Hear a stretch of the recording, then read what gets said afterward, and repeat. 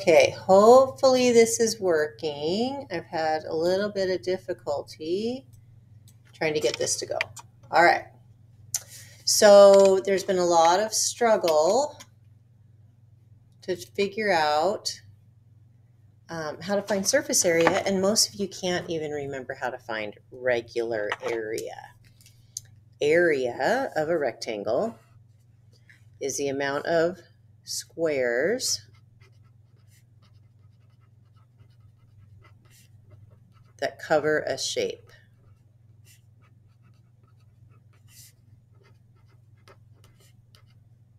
Cover a shape. Now, when we, the way we do it is we do length times width. So L times W equals area. Okay.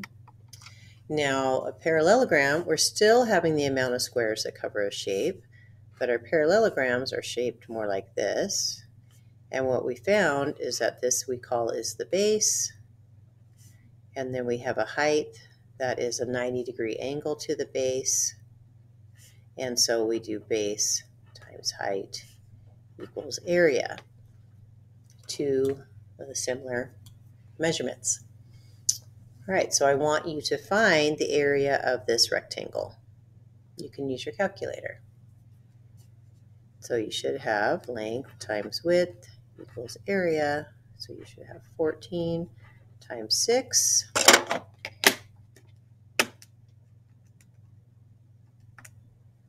And your area is 84. Now it's feet. Now when we have feet multiplied by feet, it becomes feet squared. And we can think of it as having this square corner, and we can also think of it because we're counting the amount of squares. That little 2 stands for feet squared. That's what that little 2 means.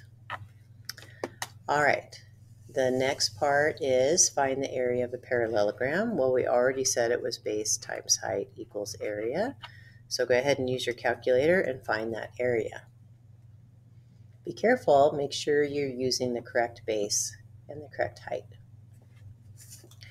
So the base on this is 12, your height is 6, 6 times 12 is 72, and because we're finding the amount of squares that fit in this parallelogram, it is centimeters squared.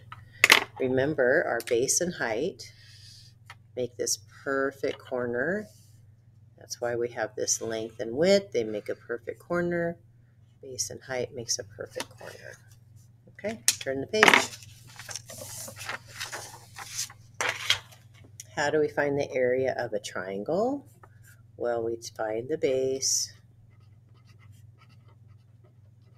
and the height.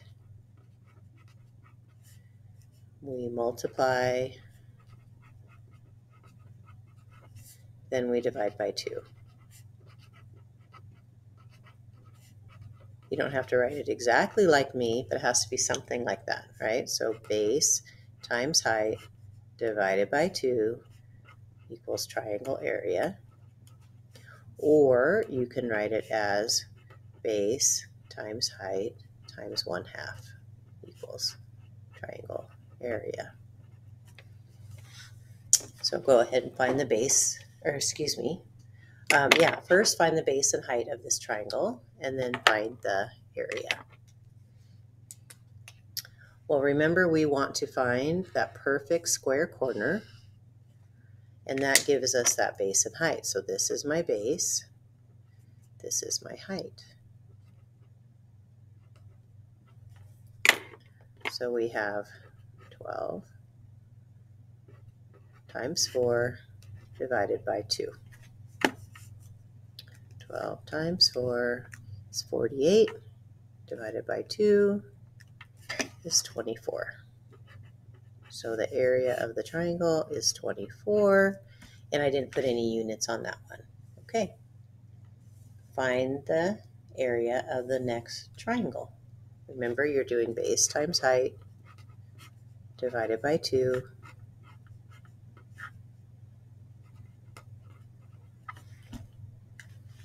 So you should have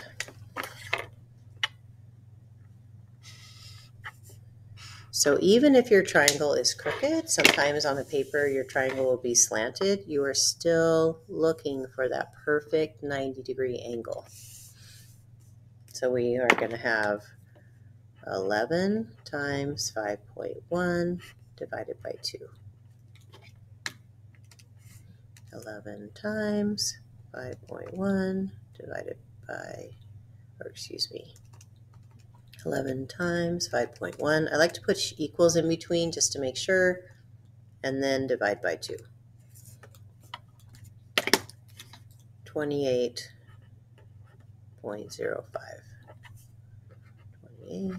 28.05. Now, are the units regular feet or is it square feet? Well, remember area is finding the amount of squares that cover a shape. So our feet are going to be square feet, which is represented by that little 2. Meaning we have two numbers to be multiplied together. That's one way to remember it. All right, find the area of the third triangle. Base times height divided by 2. Go ahead and figure it out. So even if I turn my paper, I'm looking for this square corner. See, it's right here. So this is my height. And the base is only as long as the triangle is. So we have 3.5 times 4 divided by 2. Now some of you might have noticed that I'm using the x. When there's a decimal in the problem, I'll use the x just so it's not confusing. 3.5 times 4 equals 14 divided by 2 is 7. Remember, you can always use a uh, calculator when you're doing area. And because we're finding the number of inches that cover the space in squares, the answer is squared.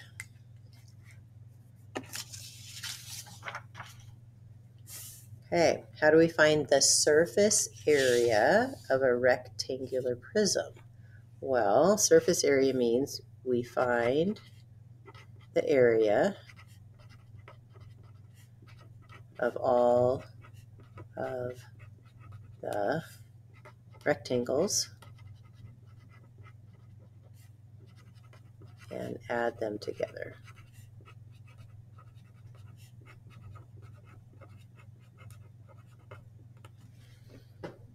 So going to find the surface area of this rectangular prism. First, we're going to draw the net. So remember we have a top and a bottom. We have a front and a back. And we have a side. And we have another side. So we're going to make, I usually like to start with the top, the front. I'm going to say this is my front. So attached to that is going to be my top. And the top and the bottom are always the same size. I'll just put B, well, I'll put bottom. And the back and the front are always the same size, so I'm going to make that a little bit bigger. And then I have my side, and I have my side. Then I want to make sure I can put my numbers on there. You could draw that a little bit larger. So I know it's seven long. I know this piece on the bottom is five and the three. Mm -hmm. I'm going to say this is my five because that's a little bit bigger. And then this is my three, which means this is my three because these two pieces, when you fold it, are going to touch each other, which means this is my five. If this is a 7, this is a 7, this is a 7, this is a 7. Go ahead and put the rest of the numbers on there and then find the area of each of those pieces.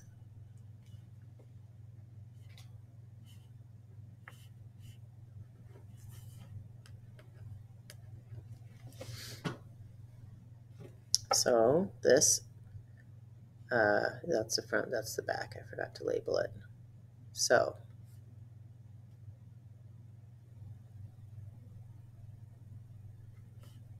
seven times five is 35.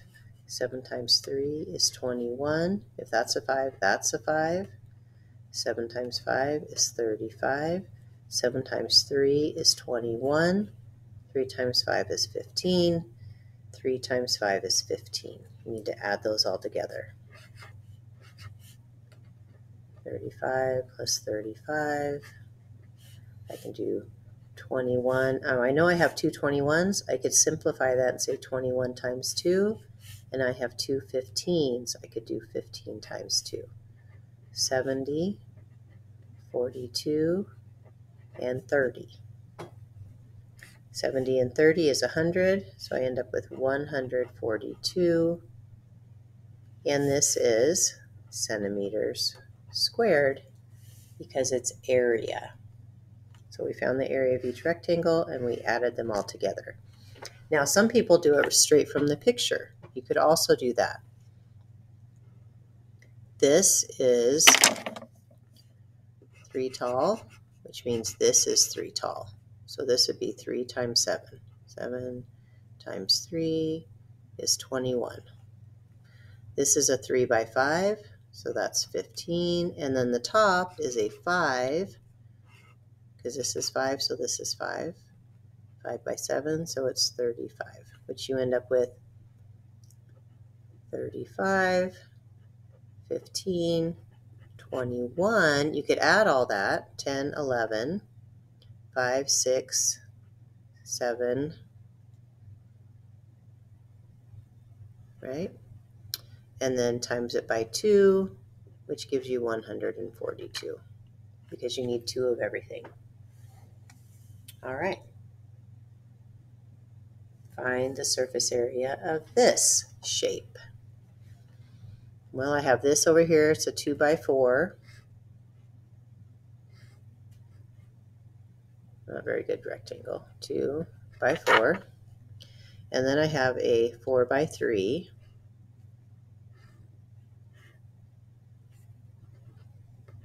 So I know this is going to repeat because if this is right here, I have another one in the back. That's another 2 by 4. And then this one has another one in the back. So there's another 3 by 4. And then I have these pieces, which is a 3 by 2. So I'm just going to put it here. That's a 3, so that's a 3. That's a 2. That's a 3. So that's a 2. And then I have to find the area of each shape, find the area of each rectangle.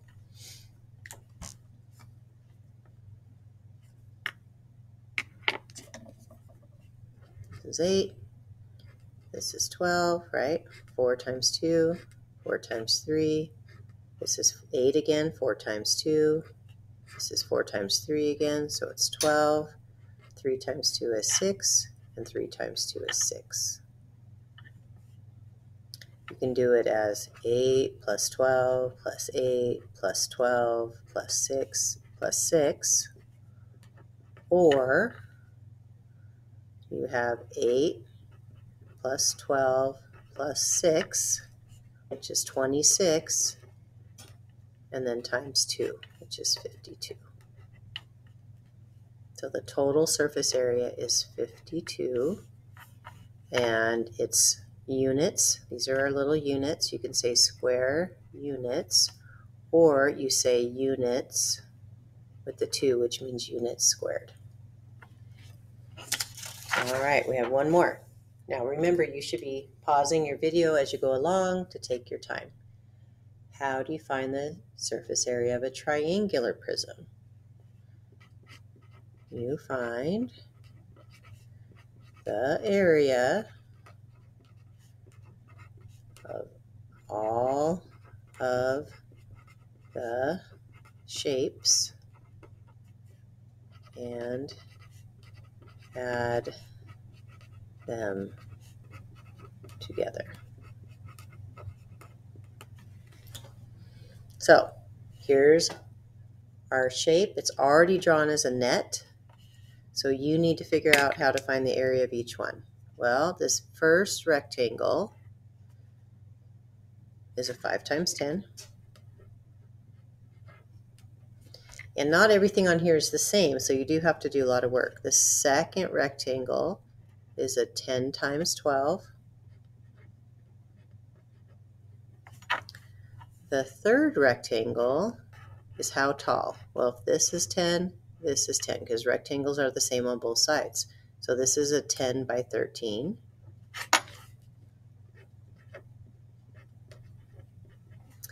And then we have the triangles.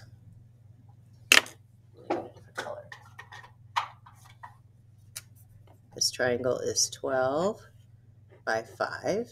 And we already reminded ourselves and practiced that a triangle is the base times the height divided by 2. So 12 times 5 divided by 2. And this triangle is exactly the same. This is a 12, which means that's our 12. 12 times 5 divided by 2. 50.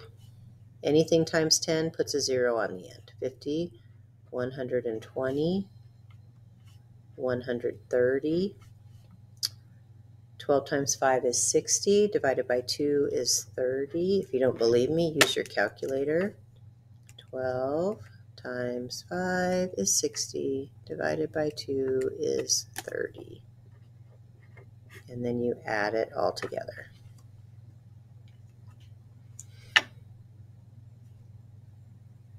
So for me, I would go 250 plus another 50, that's 300, 330, 360. 360 square units because it's area. All right, the next one you're going to do on your own, and then you're going to check the answer when you're done. And if you don't have all the correct work, you're going to copy my correct work down. So we have a 4 by 5.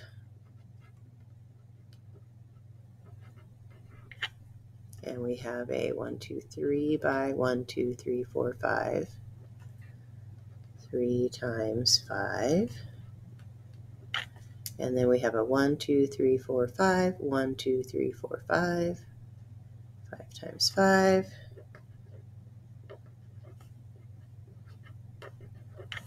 And then our triangle is a 1, 2, 3 by 1, 2, 3, 4. 3 times 4 divided by 2.